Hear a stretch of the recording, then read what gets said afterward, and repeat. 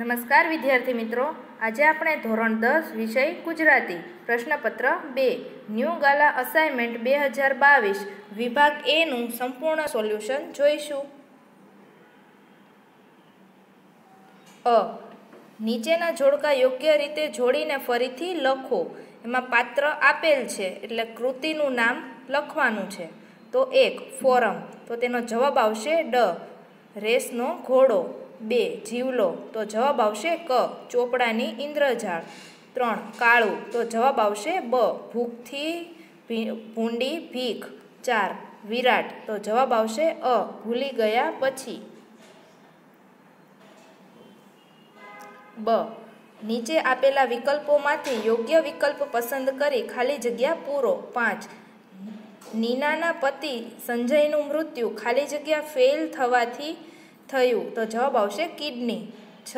મોસમનો પહેલો વરસાદ પડ્યો ત્યારે લેખક જાણીતા ખાલી જગ્યામાં ગયા તો સ્ટોર. સાત. ડુંગર અને તેની પત્ની ખાલી જગ્યા સમયે સ્ટેશન તરફ જતા જતા હતા. તો જવાબ આવશે સાંજના. આઠ. કાળુને ખાલી જગ્યાની મોટાઈ જોઈને પોતાના વિચારો બાલિશ લાગવા માંડ્યા તો સુંદરજી શેઠ. ક. નીચે આપેલા પ્રશ્નોના એક વાક્યમાં ઉત્તર લખો. નવ. ભયાનક અને લાંબી ખોભણમાં લેખક સાથી છેતરાયા. ઉત્તર. ભયાનક અને લાંબી ખોભણમાં લેખક તાજું હિમ પડવાને કારણે છેતરાયા. દસ. અંકલેશ્વર શા કારણે લેખકને પ્રિય છે? ઉત્તર. અંકલેશ્વર ભેખડવતી નર્મદાને કારણે લેખકને પ્રિય છે. ડ. નીચે આપેલા પ્રશ્નોના ત્રણ ચાર વાક્યમાં ઉત્તર લખો. અગિયાર. ડાંગવનો અને ના લેખકની મુસાફરી કઈ રીતે યાત્રા બની રહેતી? ઉત્તર. લેખકની મુસાફરી એમને માટે યાત્રા બની રહેતી કારણ કે દરેક મુસાફ, મુસાફરીમાં તેમની તમામ વૃત્તિઓ ઠરીઠામ થઈ જતી. ડાહીર ડાહીર મરી બની જતી. તેમને સૌંદર્યના અસ્તિત્વની શ્રેષ્ઠતા અને ભવ્યતા બંનેની નજીકથી બારીક અનુભવ થતો. એમાં તેમનું પોતાનું અસ્તિત્વ ધીમે ધીમે નાનું થઈને સાવ ઓગળી જતું અનુભવાતું. બાર. ઘોડાપુર જોઈને આંબા પટેલે શી મૂંઝવણ અનુભવી? ઉત્તર. શેત્રુંજી નદીના ઘોડાપુર આંબા પટેલે જોયા. પોતે મૂંઝવણના વમણમાં ઘેરાયા. શું કરવું? વાવડી પહોંચાય એમ નહોતું ને મણાર પાછા જવાય એમ નહોતું. વિકટ સંજોગોમાં એમનું બળ વધી ગયું. ઘેર પહોંચ્યા વિના છૂટ, છૂટકો ન હતો. સૌ ઘેર ચિંતા કરતા હશે. આખરે નદીમાં ઘોડીને વિશ્વાસે ઝંપલાવવા વિચાર્યું.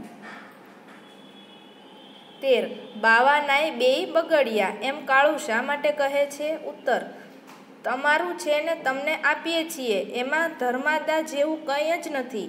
સુંદરજી શેઠના સૂચનથી કાબુએ દોઢ પાશેર ખીચડી પોતાના ફાટેલા ધોતીના છેડે બાંધી પણ ત્યાંથી રવાના થતાં તેને હસવું આવ્યું.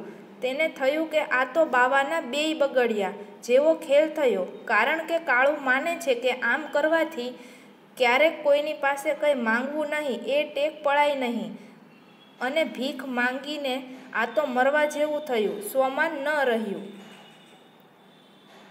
ચૌદ, ભૂલી ગયા પછી એકાંકીનું રહસ્ય જણાવો. ઉત્તર, ભૂલી ગયા પછી એકાંકીમાં મનીષા અને નરેનના સંબંધ, વિચ્છેદ અને ફરી સંબંધ બંધાવવાની ઘટના છે. મનીષા અને નરેન વચ્ચે પ્રેમ સંબંધ છે, પણ તેના પિતા તેમની દીકરીની ક્ષમતા જાણતા ન હોવાથી મનીષા અને નરેનના લગ્નની વિરુદ્ધ હતા.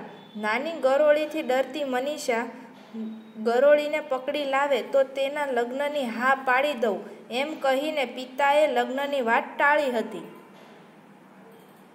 એ પછી તેઓ આ વાત ભૂલી ગયા, પણ એને કારણે બંને વચ્ચેના સંબંધમાં વિચ્છેદ સર્જાયો એ પછી એકાંકીમાં એક પછી એક ઘટનાઓ બનતી જાય છે એમાં મહત્ત્વની ઘટના આબુ પર પર્વતારોહણની છે મનીષા પોતાના સૌ મિત્રો સાથે પર્વતારોહણ કરવા ગઈ એ દરમિયાન મનીષાએ એક સુરતી કુટુંબને રીંછના પંજામાંથી બહાદુરીથી ઉગાર્યું. આ જોઈ શો અવાક થઈ ગયા.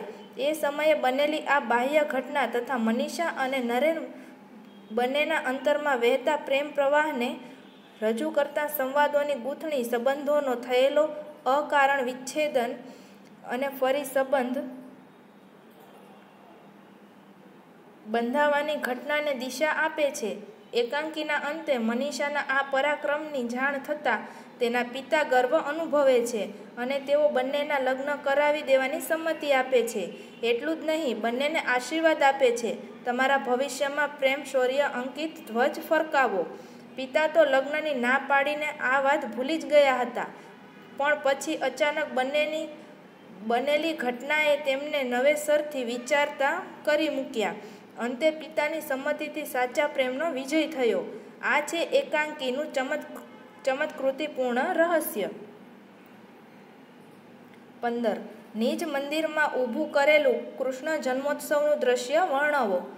ઉત્તર. અસીતે પોતાના ટેકનોલોજીકલ જ્ઞાનના આધારે વીજળીની તબકીથી કૃષ્ણ જન્મોત્સવનું દ્રશ્ય નિજ મંદિરમાં ખડું કર્યું હતું. આકાશમાંથી તેજનો પૂજ અવતરતો દેવકીના ખોળામાં બાળક રૂપે ઝૂલવા લાગ્યો. એકાએક કાંસા, ઝાલર, મંજીરા ને શંખનો તુમુલ ધ્વનિ થયો.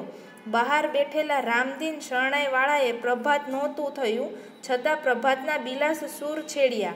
મુખિયાજીએ તૈયાર કરેલા અન્નકૂટમાં પણ રંગોની યોજના ચતુરાઈપૂર્વક કરી હતી. વસુદેવ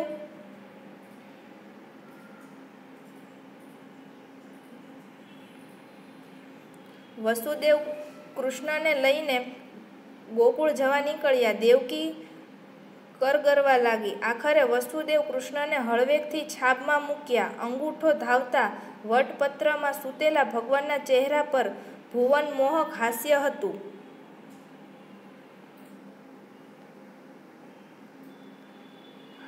વસુદેવ કૃષ્ણને લઈ ગોકુલ પહોંચતા જ કૃષ્ણ જન્મોત્સવ શરૂ થયો. જશોદા મૈયાએ કૃષ્ણકુંવરને શણગાર્યા.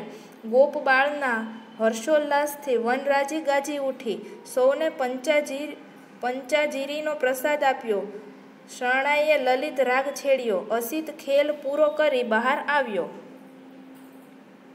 સોળ.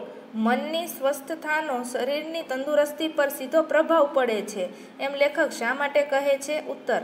મનની સ્વચ્છતાનો શરીરની તંદુરસ્તી પર સીધો પ્રભાવ પડે છે, એમ લેખક કહે છે કારણ કે માણસનું મન ભાંગી પડવાથી તેની સીધી અસર તેના શરીર પર પડે છે. મનની પ્રસન્નતા પાચનશક્તિને જાળવે છે, જ્યારે ઈર્ષા કરવાથી એસિડિટી વધી શકે છે. મનની પ્રસન્નતા માટે આશ્રમની એક પણ તક જતી ન કરવા લેખક સૂચવે છે. માનસિક તાણથી બ્લડ પ્રેશરની બીમારી આવે છે. તાણને લેખકે ચૂડેલ સાથે સરખાવી છે. તેનો નાશ કરવો જોઈએ. અતિશય ચિંતા કરવાથી પેટમાં અલ્સર થાય છે. પતિ-પત્ની વચ્ચેના સંબંધમાં તાણ આવે તો બંનેના સ્વાસ્થ્ય પર એની સીધી અસર પડે છે. અહંકાર, દાવપેચ, છળકપટ જેવા દૂષણોથી પણ શરીર સ્વસ્થ રહેતું નથી. નશો, ધૂમ્રપાન, શરાબનું સેવન વગેરે વ્યસનો પણ શરીરની તંદુરસ્તીને નુકસાન પહોંચાડે છે. થેન્ક યુ બાળમિત્રો.